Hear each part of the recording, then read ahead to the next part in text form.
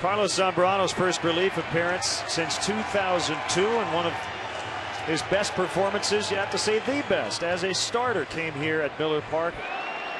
Kicked the 1-0. Little tapper. Zambrano will pick it up. Two pitches, and he gets out of the seventh.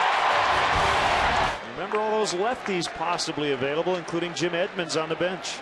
3-2 to McGehee. Got him. Graybo two outs in the seventh. Didn't give up a run. Cue shot. Baker will charge. And throw in time to get Escobar. A successful debut for Z. Did give up a run, but he'll walk off with a four run lead.